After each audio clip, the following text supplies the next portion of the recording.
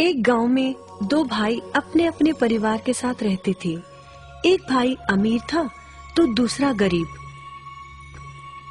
दिवाली आई, सारे गाँव में खुशियाँ मनाई जा रही थी।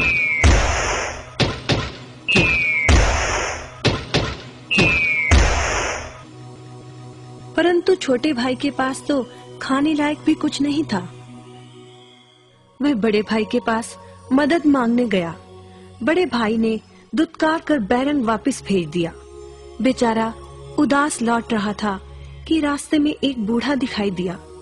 बूढ़े के पास लकड़ियों का एक बड़ा सा गट्ठर था। बूढ़े ने उससे पूछा क्या बात है बेटे? बहुत उदास हो। दिवाली पर तो खुश होना चाहिए। काहे की दिवाली ताऊ? मेरे भाई ने भी मेरी मदद नहीं की। मेरा परिवार भूखों मर रहा है और मैं कुछ नहीं कर पा रहा। यदि तुम मेरी मदद करो इन लकड़ियों के गट्ठर को मेरे घर पहुँचा दो तो मैं तुम्हें जो दूँगा उससे तुम अमीर हो जाओगे। छोटा बूढ़े के पीछे चलता हुआ लकड़ियों के गट्ठर को उसके घर छोड़ आया। बूढ़े ने छोटे को एक मालपुआ दिया और बोला जंगल में जाना। एक जगह अजीब तरह के तीन पेड़ तुम्हें दिखेंगे जिसके पास एक चट्टान होगी। ध्यान से देखोगे तो चट्टान के कोने में तुम्हें गुफा का एक मुँह दिखेगा। गुफा में चले जाना। वहाँ तीन बोने रहते हैं। मालपुआ उन्हें बहुत पसंद है। वैसे किसी भी कीमत पर छोड़ेंगे नहीं। तुम उनसे धन नहीं मांगना बल्कि कहना मुझे पत्थर की चक्की दे दो। छोटा भाई गुफा में जा पहुँचा। उसके हाथ में मालपुआ देखकर एक बौना बोला ये मुझे दे दो। मैं तुम्हें इसके बदले में जो कहोगे दे दूँगा। छोटा बोला मुझे बस अपनी पत्थर की चक्की दे दो। चक्की लेकर छोटा जैसे ही चलने लगा बोना बोला इसे मामूली चक्की ना समझना। इसे घुमाने पर तुम जो मांगोगे इसमें से निकलता रहेगा। इच्छा पूरी होने पर इस पर लाल रंग का कपड़ा डाल देना। सामान बनना बंद हो जाएगा। चक्की लेकर छोटा भाई घर पहुँचा।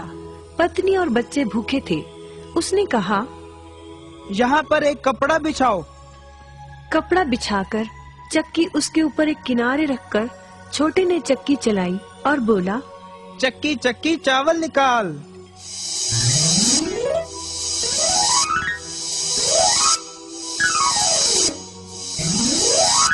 बस चावलों का ढेर लगना शुरू हो गया। लाल कपड़े से चक्की को ढककर छोटे ने फिर कपड़ा हटाया और दोबारा चक्की चलाकर बोला चक्की चक्की दाल निकाल।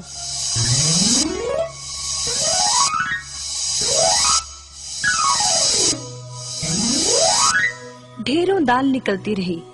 थोड़ी देर बाद छोटे ने चक्की को ढक दिया। दाल चावल बनाकर सबने अपना पेट भरा।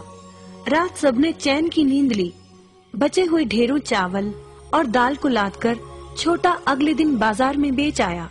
वापस आकर उसने फिर वही क्रम अपनाया और इस बार ढेरों गेहूँ, चावल भिन्न भिन्न दालें, चक्की की मदद से निकाली और बेचकर ढेरों पैसे कमा आया।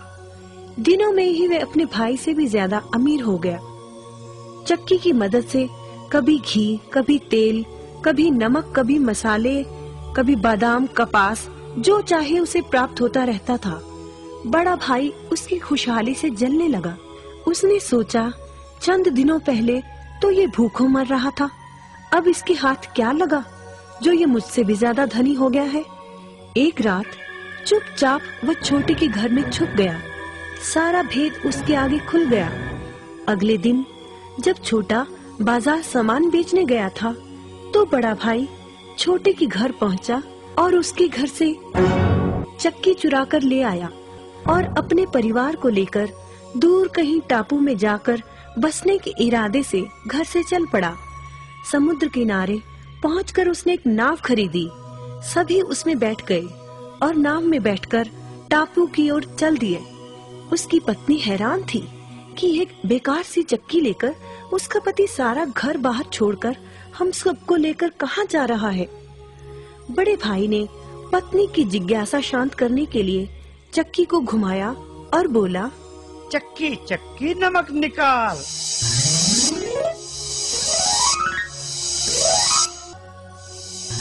बस, फिर क्या था? नमक का ढेर नाव में लगना शुरू हो गया और नाव डूबने लगी। बड़े भाई को चक्की बंद करने का उपाय तो पता नहीं था। उन सब की जल समाधि बन गई। सभी चक्की समेत समुद्र में डूब गए। कहते हैं कि चक्की अब भी घूम रही है। तभी तो समुद्र का पानी खारा है। शिक्षा, लालच बुरी बला है।